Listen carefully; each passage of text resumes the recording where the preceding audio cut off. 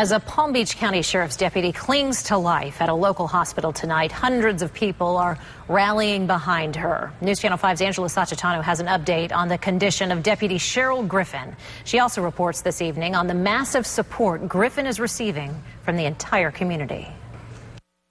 No doubt about it, Deputy Cheryl Griffin lives life to the fullest. The lifelong Palm Beach County resident dedicates her professional life to protecting citizens and her personal life to other adventures boating, riding her motorcycle, and spending time with her daughter. Her mother, Doris, clings to these photos as she clings to hope that her daughter will make it out of a coma. If we can get through this week, that that will be the major hurdle right now. Griffin's mother arrived at the sheriff's office today to thank the hundreds in the community who came out to give blood in her daughter's honor.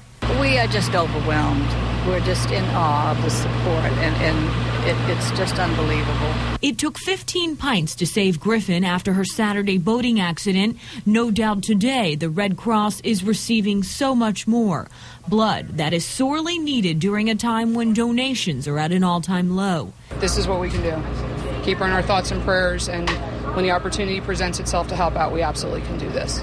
Not only were law enforcement officers from all over the region giving blood today, former victims of crime who Griffin had helped also came out. She was part of the group that came through and so I'm here just because I, I of, of, the work she did. Today has been such a success that they actually had to divert another blood mobile from another location and bring it here to PBSO to take care of such a crowd. I went to high school with her, and this is about the best that we can do. We keep going Sears. For those who have been at Griffin's bedside, like her mother, today's turnout is enough to give her the strength to keep holding on to hope. Cheryl will be so delighted when she sees this.